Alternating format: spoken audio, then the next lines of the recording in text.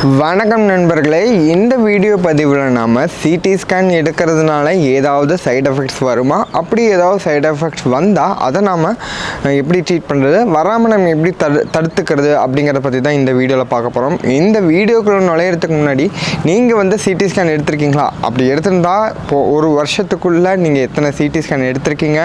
அது மட்டும் இல்லாமல் அந்த சிடி ஸ்கேன் எடுத்ததுக்கு அப்புறமேட்டு உங்களுக்கு ஏதாவது சைட் எஃபெக்ட்ஸ் வந்திருக்கா அப்படிங்கிறத கமெண்ட் லீவ் பண்ணுங்கள் ஸோ நான் தெரிஞ்சுக்குவேன். ஸோ மற்றவங்களுக்கு வந்து நான் ஆன்சர் பண்ணும்போது இன்னும் கொஞ்சம் நல்லா கான்ஃபிடென்ட்டாக ஆன்சர் பண்ண முடியும்.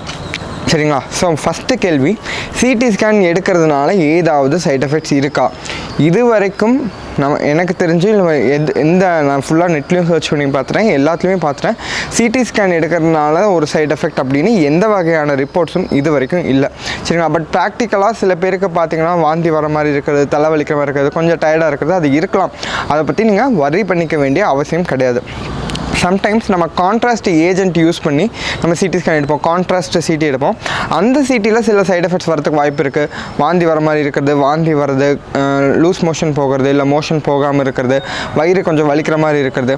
இல்லை அந்த கான்ட்ராஸ்ட் ஏஜென்ட்டுக்கு கொஞ்சம் அலர்ஜி வந்தால் உடம்பெல்லாம் கொஞ்சம் தடிக்கிற மாதிரி அரிக்கிற மாதிரி இருக்கிறது அந்த விஷயங்கள்.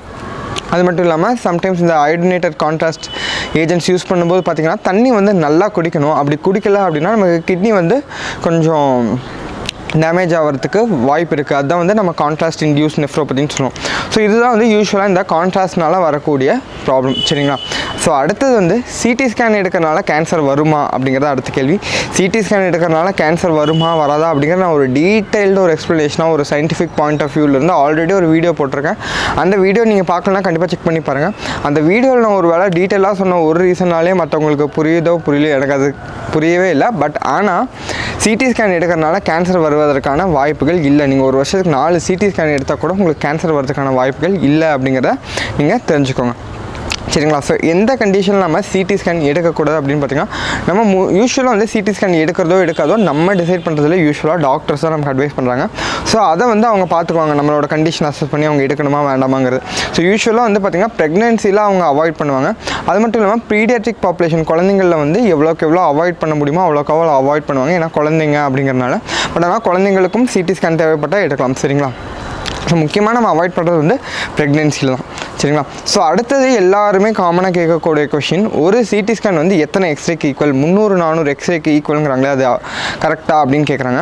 ஸோ முந்நூறு நானூறு எக்ஸ்ரேக்கு ஈக்குவல் தான். அது எப்போ? நாற்பது வருஷத்துக்கு முன்னாடி பழைய மிஷின்ஸ்லாம் நம்ம யூஸ் பண்ணிருக்கும்போது. பட் இப்போ நம்ம ரொம்ப அட்வான்ஸ் மிஷின்ஸ் யூஸ் பண்ணுறோம் low dose CT ultra low dose CT அந்தளவுக்கு ரொம்ப அட்வான்ஸ் மிஷின்ஸ் யூஸ் பண்ணுறோம் ஸோ அது வந்து வந்து நமக்கு வரக்கூடிய ரேடியேஷன் நல்லா கண்ட்ரோல் பண்ணி கொடுக்குது. அது ஒரு அஞ்சுலேருந்து பத்து பத்து எக்ஸ்ரே அளவுக்கு தான் ஈக்குவலாக அதுக்கு மேலே நமக்கு ஒரு ஜாஸ்தி ரேடியேஷன் வந்து நம்ம எக்ஸ்போஸ் ஆகிறது கிடையாது. சரிங்களா? ஸோ அதனால் வந்து நீங்கள் அதை பற்றி ஒன்றும் ரொம்ப பயப்பட வேண்டியதில்லை. சரி ஓகே ஸோ இப்போ எக்ஸ்ரே வந்து சிடியை விட கம்மின்னு சொல்கிறீங்களா கம்மி டோசேஜுங்கிறீங்களா அப்போ எக்ஸ்ரேவே நம்ம எடுத்துக்கலாமா அப்படிங்கிற மாதிரி நான் ஆல்ரெடி சொன்னது தான். எக்ஸ்ரே வந்து பார்த்திங்கன்னா நம்ம இங்கே முன்னாடி இருந்து இப்படி பின்னாடி இருந்து முன்னாடி வரும். ஏபிவியூனால் வந்து ஏபி வியூ பிஏ வியூக்கு ஏற்ற மாதிரி அது எந்த சைட்லேருந்து எக்ஸ்ரே வருமோ அந்த சைட்லேருந்து எக்ஸ்ரே வரும். ஸோ அதில் வந்து பார்த்திங்கன்னா நமக்கு முன்னாடி இருந்து பின்னாடியோ இல்லை பின்னாடி இருந்து முன்னாடியோ வர எக்ஸ்ரேஸில் நமக்கு இந்த செக்ஷன் மட்டும்தான் கிடைக்குமே தவிர லங்ஸோட நுரையீரலோட ஸ்பெசிஃபிக்கான கட்ஸ் ஒவ்வொரு இடத்துலையும் இந்த ஒவ்வொரு இடத்துலையும் வந்து எவ்வளோ ப்ரெசிஷன் இருக்குது அப்படிங்கிறது நமக்கு தெரியாது. பட் ஆனால் சிடி எடுக்கும்போது பார்த்திங்கன்னா அந்த எக்ஸ்ரேஸ் வந்து இந்த ஒவ்வொரு கட்ஸாக வந்து நமக்கு இங்கே மேலேருந்து கீழே அப்படியே லைனாக வரும். ஸோ ஒவ்வொரு இடத்துலையும் எப்படி இருக்குது அப்படிங்கிறத நம்ம இன்னும் கொஞ்சம் டீட்டெயில்டாக வந்து பார்க்க முடியும். சரிங்களா?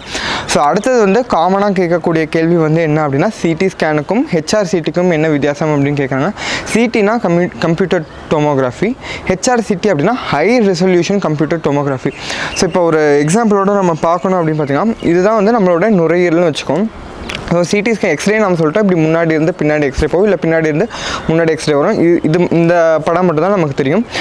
ஸோ சிடி ஸ்கேன்னா நம்ம இங்கே ஸ்பெசிஃபிக்காக மேலேருந்து கீழே வரைக்கும் கட்ஸ் வரும்னு சொல்லியிருக்கோம் இப்படி ஒவ்வொரு இடமா கட்ஸ் வரும்போது. ஸோ இந்த ஒவ்வொரு கிராஸ் செக்ஷன்லையும் என்ன இருக்குது அப்படிங்கிறது நமக்கு நல்லா விளக்கமாக தெரியும். அதுதான் வந்து சிடி ஸ்கேன் ஸோ இப்போ நம்ம நார்மலாக எடுக்கக்கூடிய சிடி ஸ்கேன் பார்த்திங்கன்னா எவ்ரி ஒரு பத்து மில்லிமீட்டருக்கு ஒருக்கா ஒரு கட்டு வருதுன்னு வச்சுக்கோம். ஸோ ஒவ்வொரு பத்து மில்லிமீட்டருக்கு ஒருக்கா இப்படி கட் லைனாக வந்து நமக்கு கிராஸ் செக்ஷன் கிடைக்குதுன்னு வச்சுக்கோம். அந்த பத்து மில்லிமீட்டரில் வந்து என்ன என்ன ஃபைண்டிங் இருக்கோ அது எல்லாமே கம்ப்ரஸ் ஆகி அந்த ஒரு ஃபிலிமில் வரும்.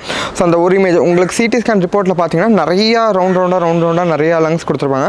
ஸோ அப்படி அந்த சீட்டு எடுக்கும்போது பார்த்தீங்கன்னா அந்த ஒரு அந்த பத்து மில்லிமீட்டரில் இருக்கிறது எல்லாமே அந்த ஒரு ஸ்லைஸில் கம்ப்ரஸ் ஆகி வரும். ஸோ இது வந்து யூஸ்வலாக நம்ம நாடியூல் சிடி ஸ்கேனில் அந்த மாதிரி கண்டிஷனுக்கு வந்து நம்ம அதை எடுப்பாங்க. பட் ஆனால் இன்னும் கொஞ்சம் டீட்டெயில்டாக வேணும். நமக்கு என்ன ஒரு ஸ்லைஸில் வந்து அந்த இடத்துல என்ன ஸ்பெசிஃபிக்காக இருக்கணும்? ஃபார் எக்ஸாம்பிள் இப்போ ஃபைப்ரோசிஸ் ப்ராங்கியக்டசிஸ்ங்கிற மாதிரி கண்டிஷன்ஸில் அந்த இடத்துல இப்போ இந்த கட் பண்ணோம் அப்படின்னா அந்த இடத்துல மட்டும் என்ன இருக்குது அப்படிங்கிறது ஸ்பெசிஃபிக்காக தெரியணும். அப்படிங்கிறத பார்ப்பாங்க. ஸோ இது ஒரு எக்ஸாம்பிளோட பார்ப்போம். ஸோ இதை வந்து இது வந்து பார்த்திங்கன்னா நம்ம என் ஃபோன் வச்சுருக்கேன். ஸோ இதோட திக்னஸ் வந்து நமக்கு ஜாஸ்தியாக இருக்கு இல்லைங்களா?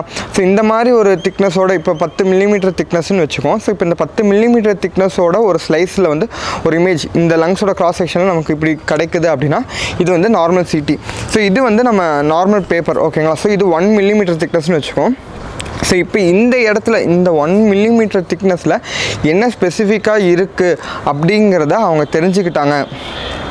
அப்படின்னா அதுதான் ஹை ரெசல்யூஷன் சிட்டி ஸோ இந்த ஒன் மில்லிமீட்டர் இருக்கும்போது பார்த்தீங்கன்னா இதே இந்த பத்து பேப்பர் மேலே வச்சு அந்த பத்து பேப்பரோட டேட்டாவும் ஒரே இடத்துல கம்ப்ரஸ் ஆகும்போது அது நமக்கு ரொம்ப ஒரு கிளியரான ஒரு இமேஜ் கிடைக்காது. அதுதான் நார்மல் சிட்டி பட் ஆனால் நம்ம இந்த ஸ்பெசிஃபிக்காக ஒரு இடத்துல என்ன இருக்குது அப்படின்னு அனலைஸ் பண்ணும்போது நமக்கு அந்த ஃபைப்ரோட்டிக் சேஞ்சஸ் ப்ராங்கிக்டஸ் இந்த மாதிரி சேஞ்சஸ் வந்து நமக்கு இன்னும் கொஞ்சம் டீட்டெயிலாக தெரியும். ஸோ இதுதான் வந்து சிட்டிக்கும் ஹெச்ஆர் சிட்டிக்கும் டிஃப்ரென்ஸ் நிறைய பேர் அடுத்து கேட்குற கேள்வி சிட்டிக்கும் ஹெச்ஆர் சிட்டிக்கும் ரேடியேஷன் டோஸ் என்ன வித்தியாசம்?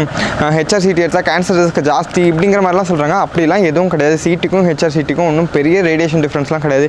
இப்போ எல்லாமே வந்து மிஷின்ஸ்லாம் ரொம்ப அட்வான்ஸாக யூஸ் பண்ணுறாங்க எல்லாமே ஆல்மோஸ்ட் ஈக்குவலண்ட்டாக தான் எடுக்கிறாங்க. டெக்னாலஜிஸ் வந்து நல்லா அட்வான்ஸ் ஆகிட்டு வரதுனால நீங்கள் அதை பற்றி ரொம்ப பய பயப்பட தேவையில்லை. நம்ம சிடி எடுக்க வேண்டிய கண்டிஷனுக்கு ஹெச்ஆர் சிட்டியும் ஹெச்ஆர் சிட்டி எடுக்க வேண்டிய கண்டிஷனுக்கு சிட்டியும் எடுக்க முடியாது. ஸோ என்ன எடுக்கணும் அப்படிங்கிற டாக்டர்ஸ் தான் டிசைட் பண்ணுவாங்க. ஸோ அவங்க என்ன அட்வைஸ் பண்ணுறாங்களோ அதுக்கேற்ற மாதிரி நீங்கள் எடுத்துக்கோங்க. சரிங்களா? ஸோ இப்போ நம்ம சைட் எஃபெக்ட்ஸ் எல்லாமே பார்த்து ஓரளவுக்கு கிளியராக பார்த்தாச்சு. ஸோ அடுத்தது சிடி ஸ்கேன் எடுத்ததுக்கப்புறம் நம்ம எப்படி வரக்கூடிய சைட் எஃபெக்ட்ஸ்லேருந்து தடுத்துக்கலாம்? இல்லை சைட் எஃபெக்ட்ஸே இல்லைனாலும் என்ன நம்ம சேஃப்டியாக வந்து நம்ம என்ன பண்ணிக்கலாம் அப்படிங்கிற பற்றி பார்ப்போம். ஸோ ஃபஸ்ட்டு சிடி ஸ்கேன் எந்த ஒரு ஒரு நமக்கு எக்ஸ்டர்னலாக வெளியிலேருந்து நம்ம உடலை பாதிக்கக்கூடியதுனாலும் என்ன? நம்ம உடலை ஒரு டேமேஜ் பண்ணுது. அப்போ அதை வந்து நம்ம பில்ட் பண்ணிக்கணும். அதை நம்ம திரும்ப க்ரோ பண்ணிக்கணும். அதை வளர்த்துக்கணும் அப்படின்னா நமக்கு என்ன? ஃபஸ்ட்டு தேவை ப்ரோட்டீன் ஸோ அப்போ வந்து நீங்கள் ப்ரோட்டீன் ரிச் டயட் எடுத்துக்கோங்க. யூஸ்வலாக ரேடியோ தெரப்பி போகிறவங்களுக்கு கூட அந்த டைமில் நிறைய ரேடியேஷன் எக்ஸ்போஸ் ஆகும்போது அவங்க ப்ரோட்டீன் ரிச் டயட் தான் எடுத்துக்கோங்க.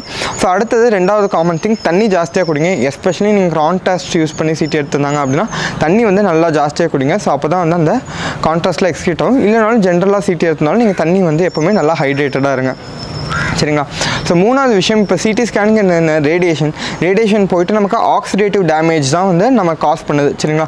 ஸோ அந்த ஆக்சிடேட்டிவ் டேமேஜ் அந்த ஆக்சிடேட்டிவ் ஸ்ட்ரெஸ்ஸை வந்து நம்ம குறைக்கணும் அப்படின்னா என்ன? ஆன்டி ஆக்சிடென்ட்ஸ் எடுத்துக்கணும். ஓகேங்களா?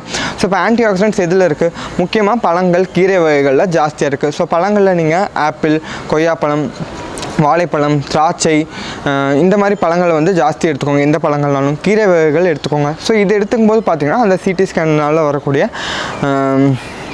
அந்த ஆக்சிடேட்டிவ் ஸ்ட்ரெஸ்ஸுங்கிறது குறையும். ப்ளஸ் உங்களுக்கு ரொம்ப இப்போ நார்மலாக சிடி ஸ்கேன்லாம் எடுத்துகிட்டு எதுவுமே பண்ண வேண்டிய அவசியமே கிடையாது. நீங்கள் ரொட்டீனாக உங்களோட ஒர்க்கே ஃபாலோ பண்ணிக்கலாம்.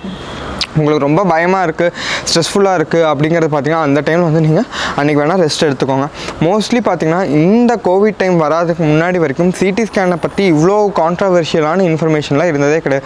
ஒரு சிடி ஸ்கேன் எடுப்போமா அது நார்மலாக போய் எடுத்துகிட்டு வந்துருவாங்க. அதுக்கப்புறம் எந்த சைட் எஃபெக்ட்ஸ் இருக்காது. எல்லாமே ரொட்டீனாக தான் போயிட்டுருக்கும். பட் ஆனால் இப்போ இந்த கோவிட் டைமில் எல்லாருமே சிடிஸ் எடுக்கிறனால நிறையா மிஸ்இன்ஃபர்மேஷன்ஸ் எல்லாருமே ரொம்ப பயப்படுறாங்க. அந்த பயத்துக்கு வந்து எந்த விதமான அவசியமும் கிடையாது.